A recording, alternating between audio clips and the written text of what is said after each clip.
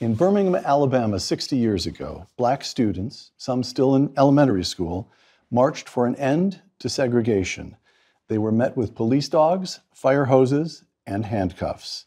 Today, three people who can remember those events because they themselves were students right here in Birmingham. Businesswoman Mary Bush, University President Freeman Hrabowski, and former Secretary of State Condoleezza Rice on Uncommon Knowledge now. And so, my friends, they did not die in vain. God still has a way of wringing good out of evil. And history has proven over and over again that unmerited suffering is redemptive.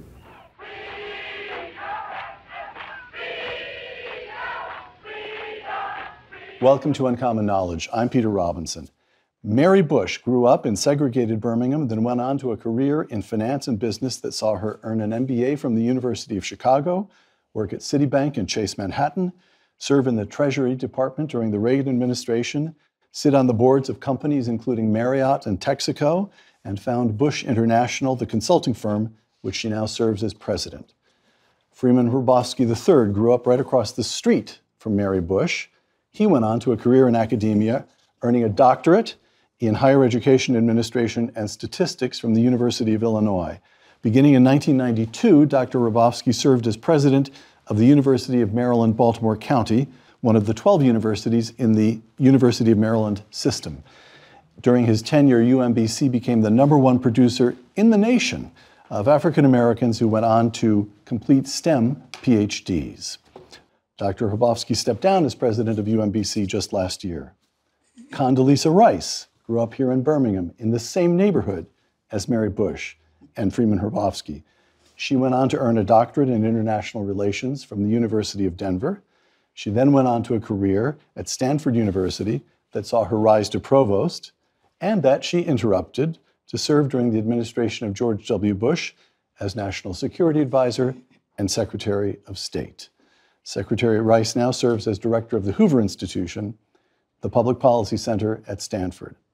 We're gathered in Birmingham today in the Westminster Presbyterian Church, where the pastor in the 1960s was the Reverend John Wesley Rice Jr., Condi's father. I've only been here a day and a half, but it seems to fall to me to welcome the three of you back to your hometown of Birmingham. the spring of 1963, April 3rd, a local civil rights organization, the Alabama Christian Movement for Human Rights, led by Birmingham's own Reverend Fred Shuttlesworth, is joined by Dr. Martin Luther King Jr.'s Southern Christian Leadership Conference in conducting sit ins at downtown lunch counters. April 6th, Reverend Shuttlesworth leads a march on City Hall. More than 30 protesters are arrested. April 11, Dr. King is served with an injunction against boycotting, trespassing, or encouraging such acts. April 12th, Dr. King, Reverend Shuttlesworth, and others lead a march protesting the injunction. They're arrested.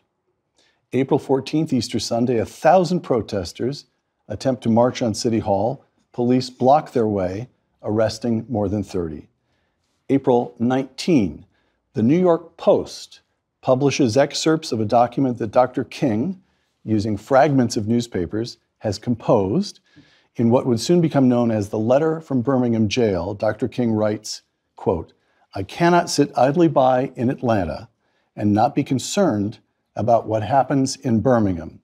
We are caught in an inescapable network of mutuality, tied in a single garment of destiny. Anyone who lives in the United States can never be considered an outsider. May 2nd, young blacks begin leaving school to march they walk in groups of 10 to 50 across Kelly Ingram Park, the city square, intending to protest at City Hall just a few blocks away. They never reach City Hall. The Birmingham Commissioner of Public Safety, Bull Connor, orders his men to assault the students with fire hoses and police dogs. Many of the young people are injured. More than a thousand are arrested. May 10th, a settlement is reached under the terms of the Birmingham Truce. Dr. King, Reverend Shuttlesworth, and other civil rights leaders agree to end the protests, Birmingham business leaders promise in turn that within 90 days they will desegregate businesses and public facilities. For the most part, they keep their word, and official segregation in Birmingham unofficial segregation would continue for a long time, but official segregation in Birmingham comes, for the most part, to an end. That's not by any means the means of the story, and will continue to what happened afterwards. But for now, let me ask you about those events, what, what is now referred to often as the Children's Crusade. You're the last generation who experienced the Old South and the civil rights movement that rose against it. Mary Bush, you were only in your teens, but if I understand this correctly, you heard Dr. King speak. I did. Tell us about what he was like, what it meant to this town when he came here. The time that I heard Dr. King speak uh, was at my church, Sixth Avenue Baptist Church. The federal government not put a cent in this city unless it decides to face the realities of desegregation. The church was absolutely packed. My parents and I went, and um, it was really a momentous event. Uh, because here was Martin Luther King, who had become well known for his um, civil rights activities. He was a famous figure coming to he town. Was, he was a famous figure coming to town. Um, so it was. It made a, a huge impression on me. Uh, one to hear him speak and to talk about freedom. Um, when the children's marches were organized, I wanted very much to participate. Uh, but I had a father who, um, when he meant, said something, he meant it. He said, No, you cannot go. Um, however, uh, I will tell you one other part of the story. As you probably know, my friend Freeman Hrabowski did participate. It's a very interesting story as to how he got to do it, which maybe he'll tell you. But he was arrested. And uh, I came home from somewhere one day, and my father is in our front yard, and there are tears strolling down his face. And I said, Daddy, what's wrong? And he said, Freeman has been arrested. Well, you see, Freeman was like his child, too. Freeman lived across the street. Uh, he lived right across the street from me. So my father was in much distress because he didn't know what was going to happen to Freeman because this was a city that reacted to people trying to get their freedom in very violent ways. So, Freeman, Mary's father said, No, you're not marching. Right. Did you get your parents' permission? Did you march in spite? What? What? Uh, one of the, let me let me explain the question. Yeah. It's easy, looking back on these events 60 years ago, to think that the black community rose as one. Well, you were united, but there were hard decisions to make every day. There was right. violence all around. This notion of children marching was not easy. Dr. King himself resisted it for a number of days before deciding it had to be done. So how did your how did you and your family address that? You were how old at this stage? I was 12. 12 years old. Yeah. You were still a child. Yeah, but I was I was in the ninth grade. I was about to go to the 10th grade. I had skipped a couple of grades. And I should tell you that most people saw Dr. King as a certainly a hero, but he was also a troublemaker. He was going to change things. People don't realize that, in that it was uncomfortable. People were worried, particularly people who were maybe buying houses. The word had gone around that, my goodness, banks could pull mortgages. Oh right? People were saying, we don't know what's going to happen. You know, it wasn't like everybody was saying, this is the right thing to do. When you look back on it, it seems like this was all a good idea. No, people were very confused about what to do and about sending children out. So it wasn't a given that, oh, this is the right thing to do. They were proud of the idea we're doing something, but no, we went home. I didn't want to go to church anyway. I, who wants to go to church in the middle of the week? I was rebellious kid. And they placated me by letting me take my math. I love the math. Reverend Rice knew I, I loved the math. So I'm sitting in the back doing my math, and this man at the lectern says, if the children participate, they'll go to better schools. Now, we loved our teachers, but we always had been told the white schools were better. We wanted to see what that was all about. And I wanted to see if they were as smart as people said they were, because I knew I was smart. Hmm. Because to me, smart meant you could work hard, right? And you could you could solve the math problems. So I'm doing my algebra, and this guy says this, and I look up, and it, of course it's Dr. King. And here's the point: I went home and I said, I want to go. And they said, What? Absolutely not. Same reaction, Mary. Absolutely not. And I said to my parents, in typical Freeman form, you guys are hypocrites. You made me go. I listened, and now you say no. And what what will your parents say? Go to your room. Because you are not supposed to tell your parents they're hypocrites, right? And so I was punished. They sent me to my room. The next morning they came in. They had not slept. They prayed all night. I knew I was in trouble. And they said to me with real distress on their faces, it wasn't that we didn't trust you. We don't trust the people who will be over you because if you march, you're going to jail. Mm. But we're going to put you in God's hands. Now, my students say, Doc, you must have been really brave. I was not a brave child. If a, if a fight broke out at school, Freeman was running the other way. The only thing I'd ever attacked in my life was a math problem. You get that, right? But I did want a better education. My teachers were wonderful. We did not have the resources. We didn't understand what great education might be. We didn't understand what it might be. Uh, but I did go, and it was a, a horrific experience. They treated us like slaves, like animals. Too many kids, stinky, not enough bathrooms. This is in prison. In, yeah, in the jail. So, what was it like when the, when you were marching? It was it was both inspiring and frightening. Can I can I this yeah. is the thing this is these are hard questions to ask. Yeah. Yeah. Uh, I don't know if you noticed this, but I'm white. That makes it very, very, very uncomfortable. But I keep thinking these. And we're in Birmingham, Alabama. All right. and here we are in Birmingham. But what was it like to have an encounter mm. with a white person what was it like not to be able to go to a certain store or during this event to have an encounter with the police and you knew they were going to be against you just because you were black? How, how do you avoid them? Do you shrink from it? How, how does this work? This, you know, it's interesting that Dr. King's this is gone, people, it's gone now, but you remember. No, no, all the people. And the two things I would say, we are all from privilege in that we have these wonderful parents working mothers and fathers and of faith.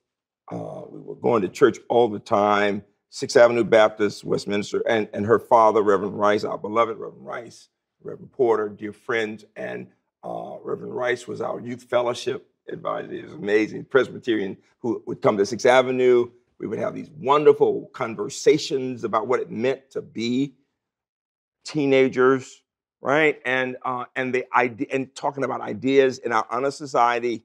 He was an advisor to our honor society, right? And um, he was an intellectual, and we would have these. So we, so in our community, we could talk about ideas, and yet we. You tell me about you all, but I'd never talked to anybody white. You never did. No, uh, the only time I remember a white person was we went to visit Santa Claus. Oh, yeah. And oh, yeah. Uh, I was I was five. Yeah, you, yeah. you would go down to Pizitz or down to uh, Loveman's to visit Santa Claus. And this particular Santa Claus was taking all the little black children and holding them out here. He was taking little white children and putting them on my their his knee.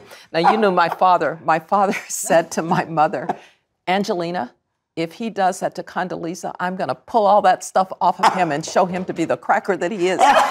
no, no, so there we're sitting there. You know, it's it's. I'm five. Daddy Santa Claus. Daddy Santa Claus. what a way to meet Santa Claus. And so um, that's Reverend Rice. And was, so I think somehow Santa Claus could see my father, who was 6'3 and a football player. and when it came time, Santa Claus took me and he put me on his knee and said, Yes, little girl.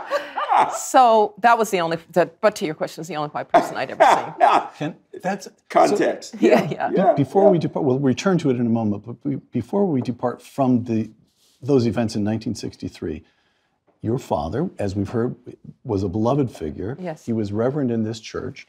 The black community was, as, I, as I've looked, it's about 100,000 people. It strikes me that the pastors, the ministers must have known each other. They did. Yeah. So your did. father knew Reverend Shuttlesworth. They were good friends. Good friends. Yes. yes. And of course, you were a very little girl, but do you remember at the time these tensions? It's fascinating to me to think, once you think it, it seems obvious, but the assumption that, that there's this uprising of, of righteousness and peaceful, uh, nonviolent protest. But of course, it was more complicated than that. Dr. King was an outsider, this notion of putting children in harm's way. Do you remember your father talking about that at home? I, I do remember my father talking about it. I was little. I'm a You little, little, younger than these two, and um, I remember a couple of things about it. I remember my father saying to my mother, "We're sitting, standing in our little hallway." You know, Angeline, I'm not going to go down there and pretend to be nonviolent because if a policeman takes a billy club to me, I'm going to try to kill him, and my daughter will be an orphan. Hmm. Because my father actually didn't believe in the nonviolent part. Hmm. Do you know who one of my father's great friends was? Stokely Carmichael. really? He some yes, he somehow found in that more confrontational side something that he admired. And so when the children's march came along, it was a mm-hmm. little a lot like Mary and, and Freeman's parents. My father said, Why would you send children into Bull Connor's henchmen? Why would you do that? I wouldn't let my daughter go.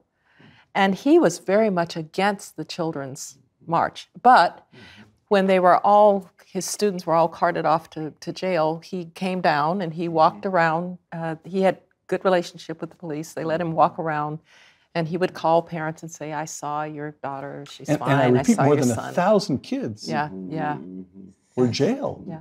Not too far from here. The jail was not and too he, far from here. he was wonderful. When I came back, he just two, three parts of the story to show you Yes, how please. close Uh, First of all, the, the reason they allowed me to go was that I challenged my mother. My mother had led a protest in 1948 Really? for the equalization of teacher salaries and was fired for that. And she was always proud of that in, in another county.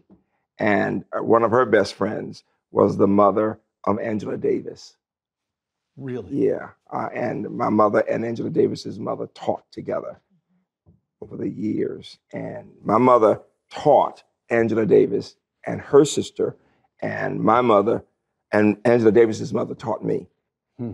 and they had this great sisterhood about fighting for justice. All right, and I reminded, I said, Mother, you you fought for justice. She said, but I was an adult. And I said, but you taught me to think. And they did allow me to go. It was it was amazing. About her father, when I when I moved, when we, we did get back to school, he and George Bell gave me special attention to see how I was psychologically. And he said to me, Remember, you are an A student. You are an A student. He wanted me to remember that. He wanted me to remember how to define myself. It was very important. Just as Mr. Bell, who was the uncle of Alma Vivian Powell, General Powell's Really? wife. You know, there's something else. yeah, that's right. yeah. Something else you need to know about Dr. Bell. He was the principal of the Ullman High School Of the that high I school that mentioned we- well- earlier, that Freeman and I both went to. Uh, Dr. Bell was an amazing man. Um, he was very much about excellence. He would come to our classes. He would give the students extra problems to solve. Um, but he was also a disciplinarian. So even the really big guys who might have a tendency to act out were cowered by Dr. Bell because he was had a small, this it was a tiny yeah, guy. yeah, He he was a man. and he was he was a tiny man. But we loved him uh, because he was all about hard work and excellence and always, you know, striving to be the best you could be. So when my class was going into its senior year, uh, Dr. Bell was about to retire. And we literally begged him not to retire. This shows you, one, um, how close the principals, the ministers that we've talked about, the teachers were to the students. So it was our parents Yeah. who, who really pushed us about hard work and excellence and the value of education. But it was also our teachers and our principals. You have and to be twice as good, right? Yeah. twice as good, twice as good. So, so this, Yes. so Yeah. I, I'm just, I find this so striking that here you are in the Jim Crow South, mm-hmm. and you've got parents who are wonderful parents, yes. and schools that are good schools Yes. And, and good teachers. and good teachers dedicated. I mean, honestly, truly, I hear you describe the circumstances in which you grew up, mm-hmm. and I wouldn't hesitate, would not. Now my children are older now, but I'd have dropped my children yeah. In segregate in Black Birmingham like that because of the yes. education, the self confidence. Yeah, Yes. but I, but let me. So what am I let me- Let me, step back a right. little bit because um, I, I want to say two things. First of all, about the principals. To be a principal in Mm. a school in Birmingham was like being a god. We we A admire revered position. revered position. So Alma Powell's father. Mr. R.C. Johnson was the principal of uh, Parker High, which was the largest black school. Mm-hmm. And her uncle was the uh, principal of Ullman High, which was the second largest. When Mr. W. W. Whetstone, who was the principal of our elementary school, died, his funeral was like that for a head of state because teachers were revered, principals were revered. But there was a, a dark under, underbelly to that, which is that if you were an educated black person, you really only had a couple of good options. Mm. And teaching was the best option. And so it was, in a sense, a, a lack of opportunity for black professionals that led to the best and brightest going into teaching. In another time, So that funeral, everybody understood this is a man who holds a position of importance to us, but he's also the best we have The produced, best the we best have of our produced. community. They I and and I if you were a teacher, you were really highly regarded. And and you know, in a, another generation or two, people would have other options, and some would take With them. few exceptions who became Yeah. physicians and lawyers. A few, you had a couple of lawyers, a few. Mm, physicians. I call this the best minds. We got the best minds because, just as Condi said, the generation before us, our parents and teachers, they didn't have the other opportunities. The doors were not open, so they became teachers. And we were the wonderful, blessed recipients of that.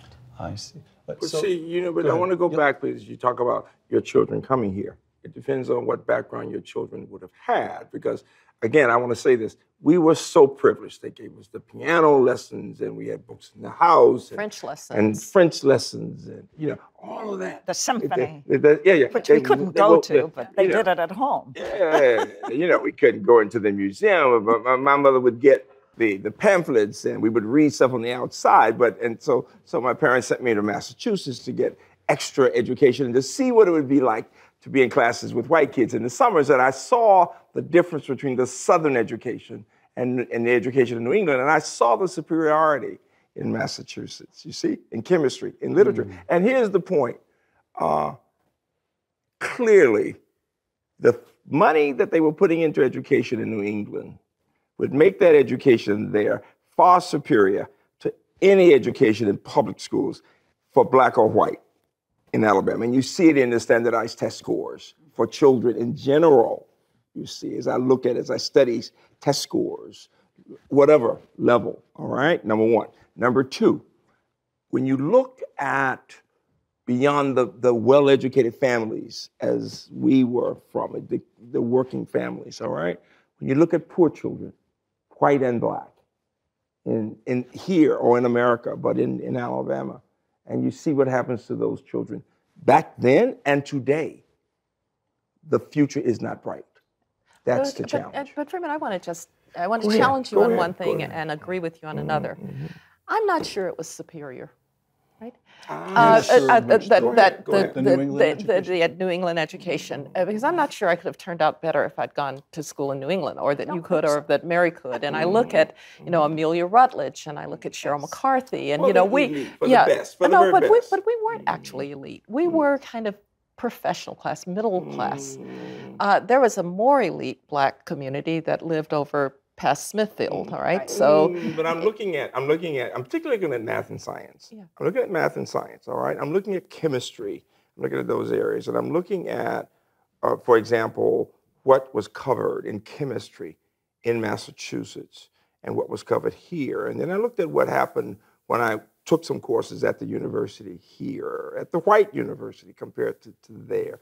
It was superior. As a mathematician. I'm saying. Uh, all that I'm saying is Yeah. the resources may have been superior. Yeah, the resources I'm not sure that the was- instruction and- was, and, I, am going to tell you why. yeah.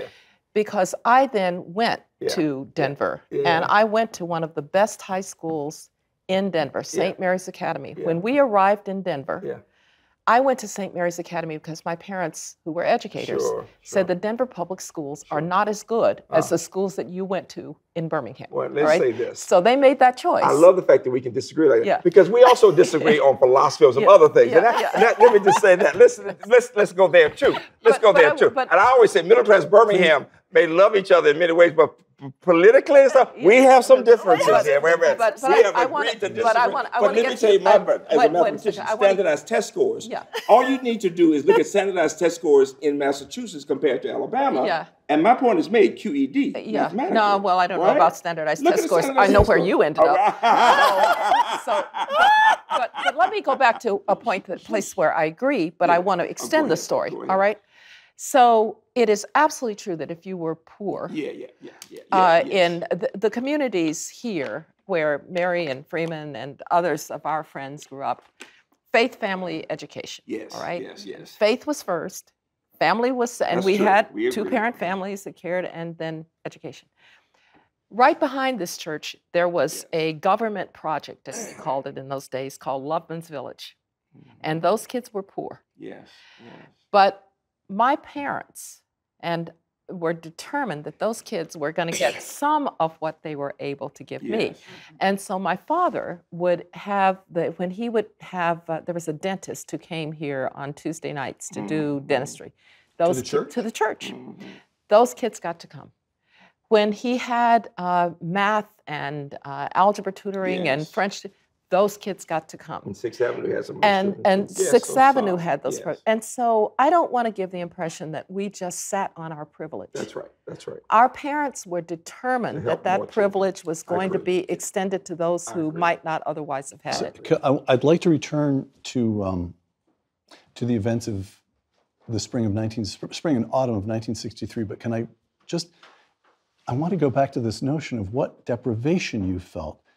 You said that Santa held black children out here. Yes. Mm-hmm. That's something everybody can get. Yeah. You said your parents had to send you to New England mm-hmm. to see. And they were geniuses. I'm going to say something that they wouldn't say. Okay, both of these young women, and I say this based on my own education, they're geniuses. So These of two course ladies? they, yeah, they both are geniuses.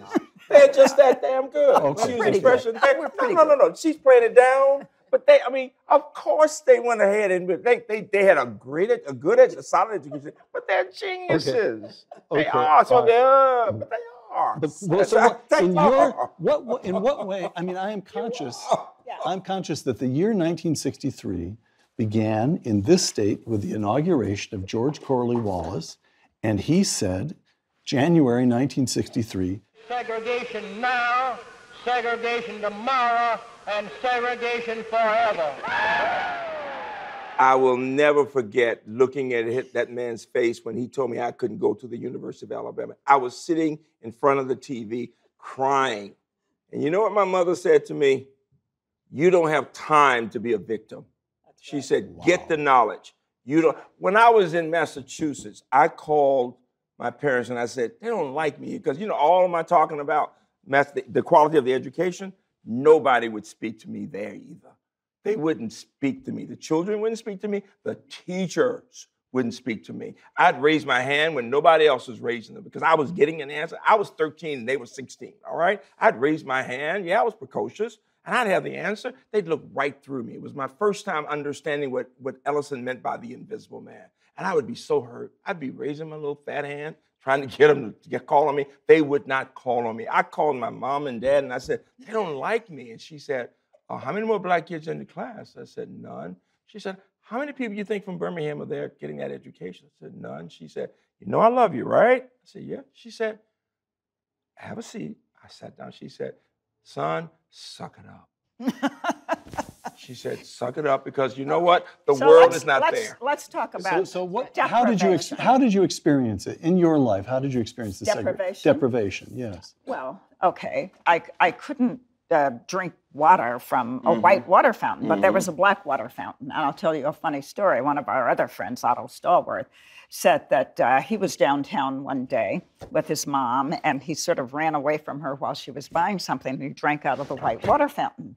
And um, he ran back to her and said, Mommy, Mommy, their water tastes just like ours.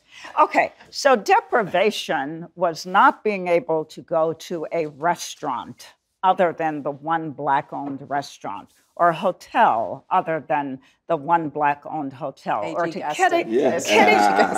yeah, or to Kiddieland Park. But what I found out years later, you know, after we could finally go to Kiddieland Park when I was adult, I said, "Oh, I gotta see it." It was horrible. It was dirty. It was just unbelievable. So we were not really deprived, except for things that Freeman is talking about, uh, like going to some of those schools that we might have wanted to um, in Alabama. Um, so our parents made up for what would have been deprivation.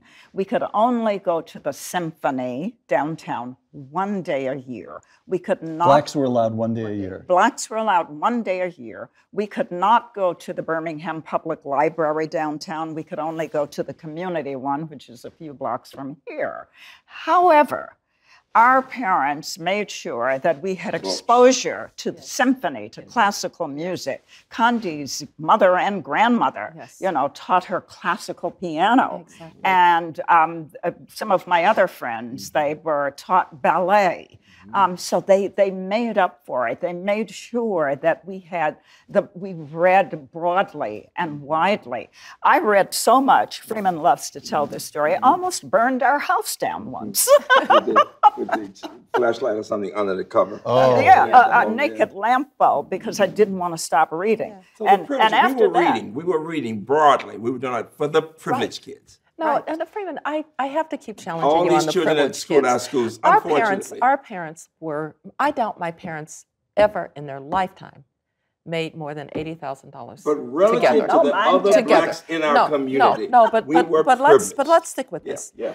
Because to say we were privileged, I think, is to underestimate what our parents achieved. That's All right. right. Oh, I when you see think when you think about what Mary said, Relative I, to we have, people. we have a we have a friend, uh, Deborah Cheatham, who said that she wanted to go to Kiddieland, Yeah. and her parents said, "You don't want to go to Kiddieland. We're going to Disneyland." All right. Uh, right. So they yes. found ways. Yeah. But to, but when I think of privilege, I think of it was almost ordained. yeah. And I don't think I you don't can think say my parents. My parents worked. My mother was a teacher. My father was a teacher, Yeah. football coach, minister. Yeah. He had more jobs than you. We talked about Denise McNair's uh, Yeah. father. Yeah. yeah. He was the milkman, the mailman, Yeah. the photographer, and he taught. Right. So they did everything to give us opportunity. Absolutely.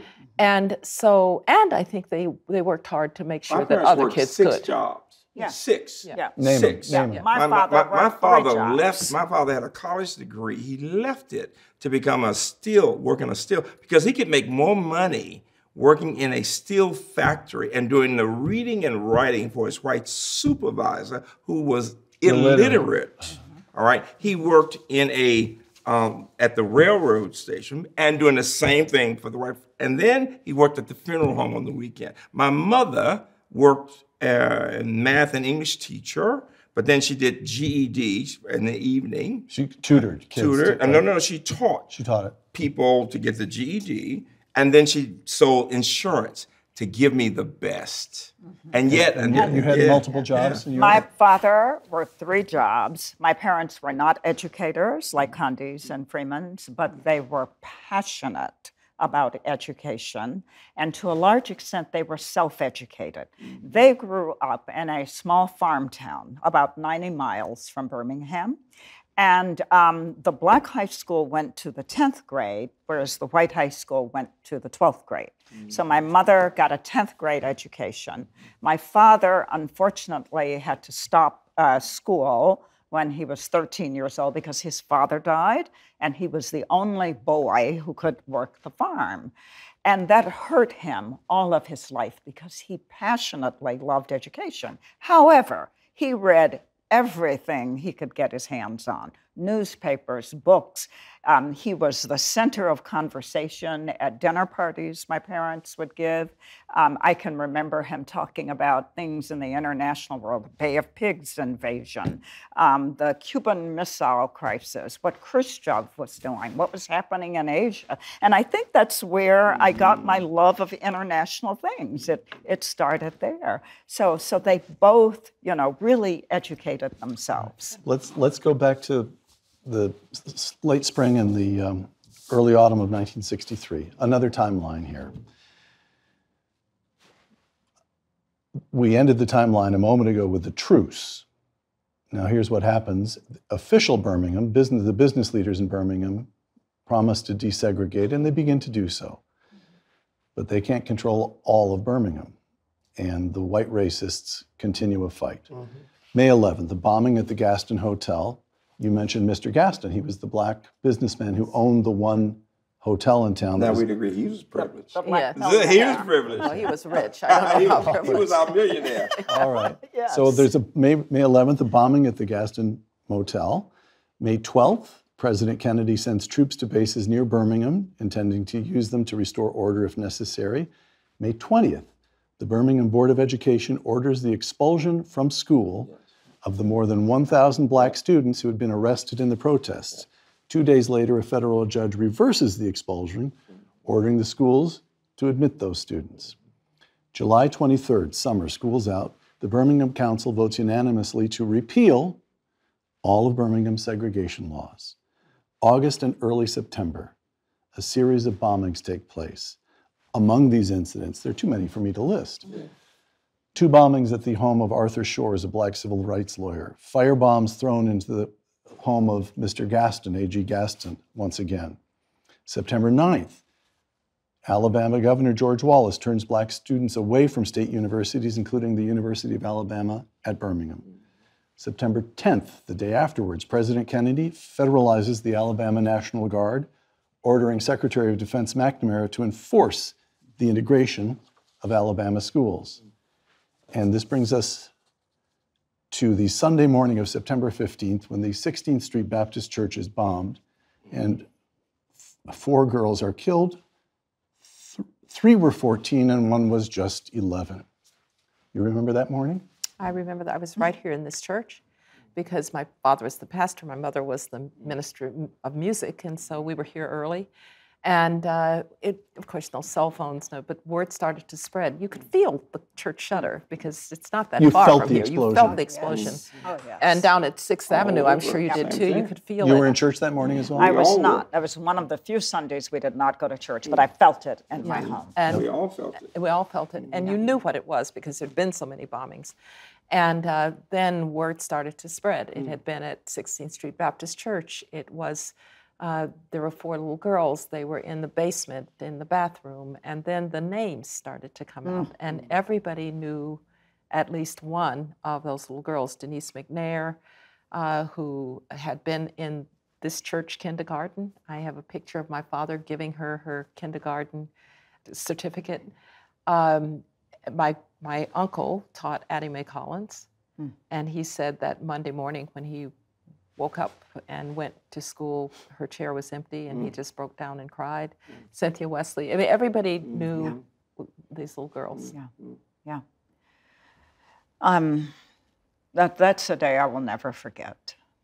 Um, it brings me almost to tears now because these four little girls would also have been stars. Yes, they would have. Denise McNair was the daughter of one of my elementary school teachers, so she was the youngest. Uh, so not in my age group, but she always came to her mother's classroom after her classes, so knew her very well. Cynthia Wesley um, had just been at my birthday party a few months before. Um, so this was um,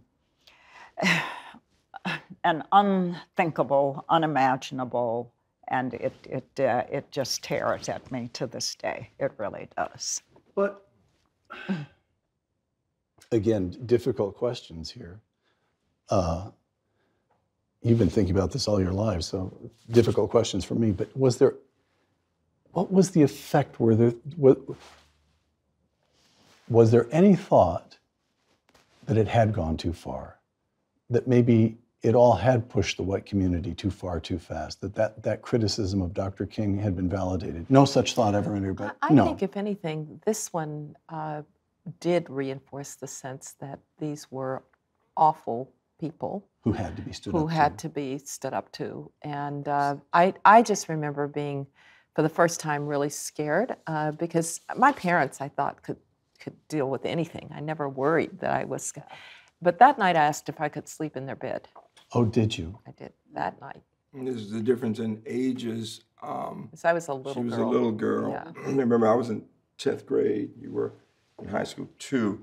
People said to those of us who had gone to jail, if y'all hadn't done this, those girls would still be alive. Really? Oh, my did you? goodness. hear- I So never you heard did that. say yeah. that? Oh, yeah. Never heard that. They Never told heard King that. They told those of us who had gone to jail, if y'all hadn't done this, if Dr. King hadn't come here, things would be better. Mm. Where was that coming from, Oh, yeah. Freeman? From blacks. Yeah, but, Oh, yeah. but I mean, who? Oh yeah, oh yeah. It was very clear. It's very clear, very clear. And and Dr. King felt that when he took courage when he came and had to look into the faces of those mothers Funeral.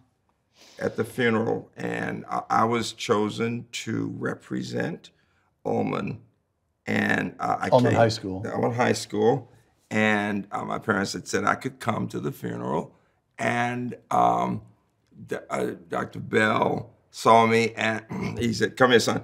And I didn't have on an appropriate tie, and at that time you're supposed to wear a dark tie, and I just put on a tie. And he took off his tie. He had a black tie, and he tied the tie on me. It was so special. And he said, "You're representing all of us." And uh, he said, just remember, you're representing all of us, and we're proud of you. It was so special, really was. So But this is the point. Dr. King, and I looked in his face. I was sitting up in the balcony looking right at him, and he said, when he was looking into the faces of those mothers, and you, I'll never forget the three coffins with little Denise's little coffin in the middle. I'd never seen multiple Small. coffins, this small coffin. There were only three. One mother refused to allow her she daughter. did. Yeah, it was only three coffins, but the baby, the Denise, they left in the middle, and he said, uh, "Life is as hard as steel." As he looked into those faces, Life is hard. At times as hard as crucible steel. It has its bleak and difficult moments. If one will hold on, he will discover that God walks with him and that God is able to lift you from the fatigue of despair to the buoyancy of hope and transform dark and desolate valleys into sunlit paths of inner peace. And no greater tribute can be paid to you as parents, and no greater epitaph can come to them as children, and where they died, and what they were doing when they died. They died uh, between the sacred walls of the Church of God, and they were discussing the eternal meaning of love. Mm-hmm. and he was just, mm, "What do you say to those mothers when he know what people are telling them that it's your fault?" That was I'll never forget that feeling. The other thing though that I've talked about before it was the first time in my church, in our church, I had seen white people on the right hand side, men of all faith, of all rabbis, Muslims, priests, and it was the first time I'd seen white men crying. I think as heinous an event as as this was, I think it, it's one of the things that really started changing mm-hmm. minds And and, that's it. hearts in America, what- in Birmingham and in America. Yeah. To see, I didn't know white men could cry about black girls being killed. Mm. They had never thought about that. So, so that event, to some component of the white community in Birmingham, that event, they said this is this has to stop. Not just not just Yeah. in Birmingham, but in the country. Uh, I, I also think that uh, you mentioned the truce and what was happening in black businesses. And I'm going to say something fairly controversial. For a lot of the white community, segregation had become just a pain. Yeah. You know, it was just an inconvenience in some ways. And so I remember my dad was highly regarded by um, a man named uh, Clay Sheffield, who was the head of counseling, guidance counseling for the whole city. And uh, my father was kind of his protege in some ways. And my mother got a very bad um, infection, a bad uh, bronchitis. And so she kept trying doctors and nothing was working. And so my father mentioned this to, uh, to Mr. Sheffield. And he said, I want you to take her to this doctor, Dr. Carmichael. And so we went, and the black, I, this was probably 1961 or 62 mm. maybe. And the, the waiting room was, for the blacks, was uh, next to the pharmacy, and the paint was peeling, and it, you had to go up the back stairs. Mm-hmm. And uh, Dr. Carmichael saw my mother, and then he said to my father, Reverend um, Rice, Angelina needs to come every week to see me, but why don't you come after five? And then after five, we could mm-hmm. sit in the regular waiting mm. room. And so mm. you could sort of see that you, you, know, we forget there were people of conscience on, mm-hmm. uh, who were white. Mm-hmm. mm-hmm. Um, and so I, I do think this was catalyzing, but even before then, mm-hmm. um, beginning to think. Mm. my father had a very close relationship with the, the pastor of Shades Valley Presbyterian Church, which is over in Mountain Brook and uh, they would exchange youth fellowships and so forth. And then Mountain 60, Brook, the, the white enclave, the white, uh, wealthy white, wealthy white enclave. But uh, when when '63 um, happened, they had to stop because it was so violent. Mm-hmm. But uh, there were there were things going on underneath. And we there should were. acknowledge that. This is a very very good point. Uh, my father's three jobs. He was a steel worker, and he would uh, go there from seven to three. He would come home have dinner, get a little rest, and then he would go to his two other jobs, uh, which were to clean two buildings. He was the janitor for Liberty National Insurance Company and for the U.S. Steel Credit Union. Uh, so I tell everybody I got my uh, my start in finance very early because, because, my brother and I sometimes on a Friday evening or sometimes even during the week we would go with him and my mother because she would help him sometimes and we would do our homework you know while they were finishing up the work. Um, sometimes there were, and it was, of course, all whites who staffed both organizations. And the ones who were still there were just so very kind mm. to my brother and me, to a person. And whenever they had parties, they would leave little treats for us. So there were people of good conscience and people who really cared uh, about what was going on and didn't agree with what was going two, on. Two, two, two final questions, if I may. And here's the first one. Here we sit six decades later. Six decades later. Your own lives have turned out pretty darn well. An amazing career in, in finance and business, the presidency of a major institution, Secretary of State. When you return to this town, do you feel, looking back on those events, that they had to happen that it was right and that the events of 1963 represent a victory? Or when you look at this town today where there's just no racial tension, at least that I've experienced, do you say, well, it was inevitable? This somehow or other, segregation had to end. Maybe that wasn't necessary. Maybe we should, maybe it would all just washed itself out in, in time. So let me say something that's, that's, controversial. You know, people think of Condi as the Secretary of State. I see her still as this amazing force who still to me was a little girl walking with her father with a book. Because when she left Birmingham, she was only maybe 11 or so, 1965. So when I, we still have this argument, she was privileged, all right, in this. I don't care what she says. She was He's not going to let that one because, go. let me say why. Because our church, and 16th Street were privileged churches. This was a privileged church, a Presbyterian church, a black Presbyterian church is a church of privilege. Now, compared to whites, it's a different word, but in the black community, usually you're going to have a larger percentage of educated people. In the 60s, only 3% of blacks had a college degree. Let's think that way, and you'd have more blacks uh, who could play classical piano. You know, you know, so in that sense, all right. Now, why do I say that? So so we were challenged in the sense that there was segregation. We couldn't go to places, all right? Um, today, educated people have done well in America and in Alabama, in Birmingham. The, the, the, the head of medicine for the University of Alabama, quite frankly, an African American, a mentee of mine who recently moved to New York to a big position. So it's a big deal, big deal. At the same time, at the same time, in this state, you still have major challenges. While you may have a, a black who is the mayor, all right, uh, and you have some blacks at the University of Alabama, Birmingham, you've got the same challenges that you have in other cities that the vast majority of black children still cannot read well. And you still have the segregation. So, yes, we needed the 60s. And what it showed was that even in the most privileged of churches like 16th Street, where you did have a, a number of educated people, Are you proud of going to jail? I'm very proud.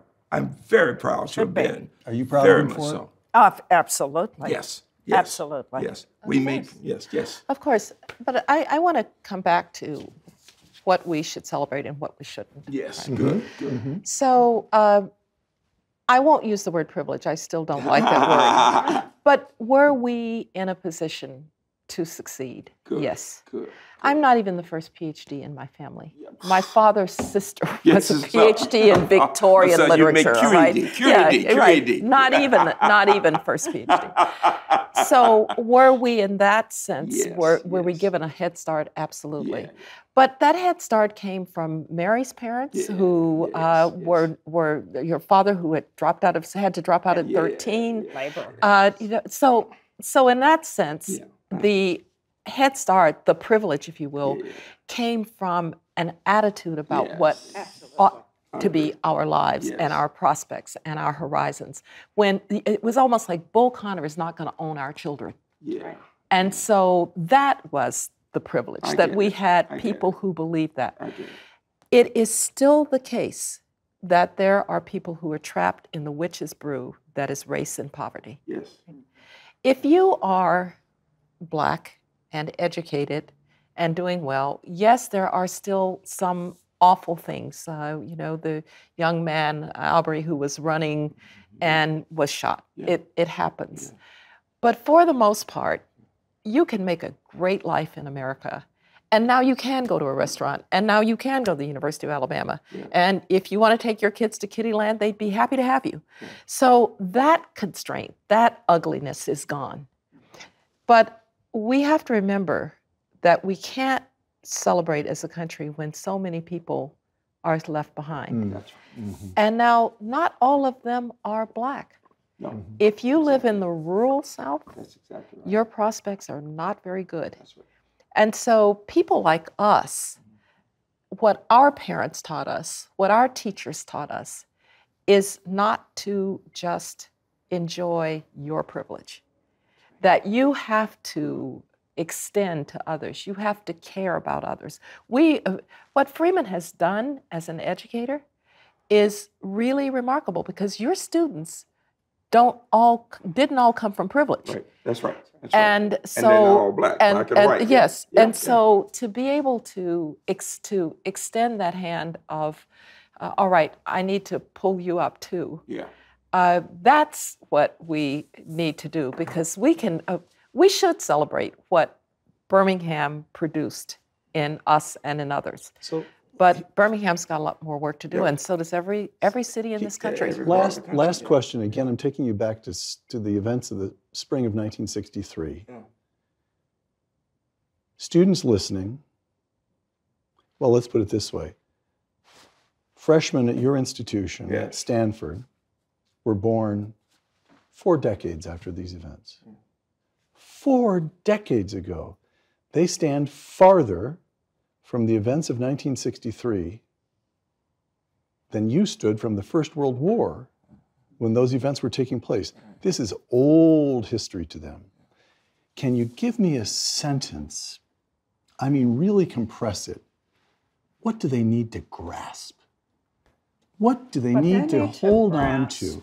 Is that is that a lot of life is about attitude and belief.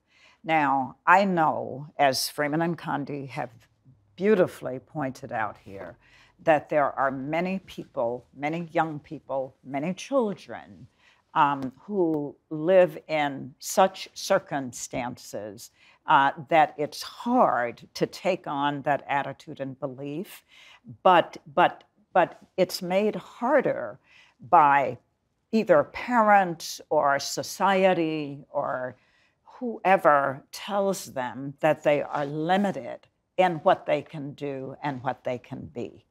We were told, despite the circumstances here in Birmingham, that we could do and be anything that we wanted. Our parents believed that. They had that vision. Our teachers believed it. They said, We knew change was coming and that we had to have you in a state of readiness. That's what one of my teachers said to me.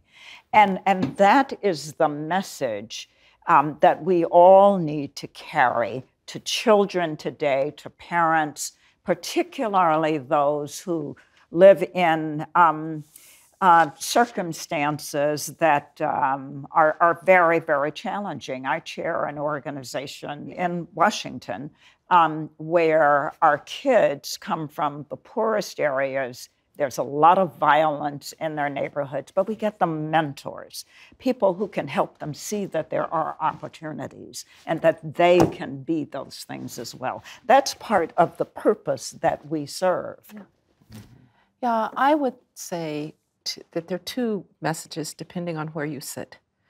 So if you sit in a position where you have been fortunate enough to be in a to be able to really take advantage of what America is and mm. what it, then by all means, go and help somebody who has less. Because the thing that sometimes really gets on my nerves about young people, and that means I'm getting older, is uh, that sense that, oh, woe is me, oh, things are, you know, if you go and help somebody who has less than you have, you will never again ask, why do I have so little? You'll say, why do I have so much? Absolutely. Right? And so if you're in that position, then I don't care what you do, volunteer to go help a kid, work at the Boys and Girls Club, do something to help others. If you are that young person, and I work with Boys and Girls Clubs and I see them, the kid living in a car mm. where the parents are totally dysfunctional. But you can still make it.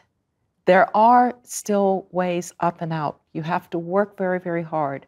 But to Mary's mentoring point, there has to be an advocate for that child. Mm-hmm. It has to come from someplace. But I, I just feel so badly when kids will sometimes say to me, 75% of the people in my neighborhood never finish school. Mm-hmm.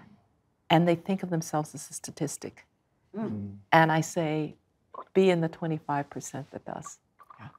Be in that statistic. So a 19 year old student of yours says, You went to prison? What was that all about? Right. And, and I say, that? I say that I hear so many elected officials today talking about moral clarity. now, here's my moral clarity that I talked about when I was 12. We must speak truth to power and I believe in our country. And so the first thing I'm going to say to young people is that we must vote. And I'm not going to tell you to whom to vote for, but I am going to say this vote for people who tell the truth. Thank you. Vote for people who care about children. Okay? Vote for people who care about poor people, right? Who want a country, who don't want to see poor people at the bottom killing each other that we can be better than this as a country where poor people are dying every day. That's, that's what we have to be. We can be so much better as a country. We are better than this as a country. Mm. We're better than this. And Birmingham, I think, shows that we can be better than this. Because despite its long and difficult and tortured history, uh, it did produce some of us. Some of us. Yeah. Yes. And oh, by the way, uh, it is a different place than it was. When I would travel around the world as secretary, and people would say, "How can you speak for America? Your country was slave owning. You grew up in segregated Birmingham," and I would say, "Since when did people tell you that democracy was ever a finished product?" Mm. And Great in point. fact, that is the one lesson that Birmingham shows. Mm-hmm. Condoleezza Rice, mm-hmm. Freeman Hrabowski, Mary Bush, thank you. Thank you, Peter. For Uncommon Knowledge, filming today at Westminster Presbyterian Church in Birmingham, Alabama. I'm Peter Robinson. Thank you for joining us. What a beautiful sunny day. Isn't it gorgeous? We got very fortunate about that.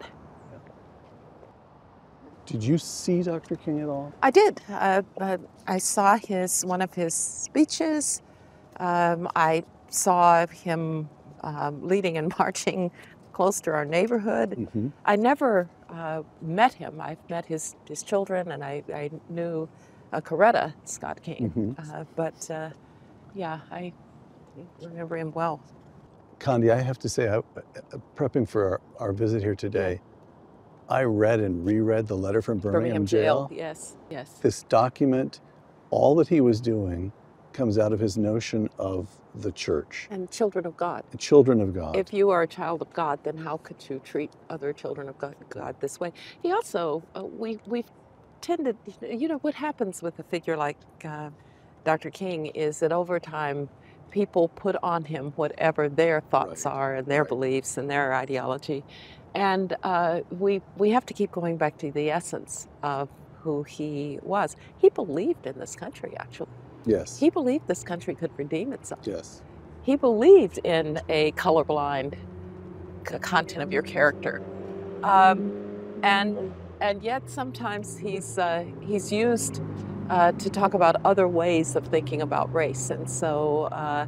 You know, and he would have a, a long legacy actually beyond the civil rights legacy because he would get concerned about human rights across the world and uh, the treatment of workers and, and the like.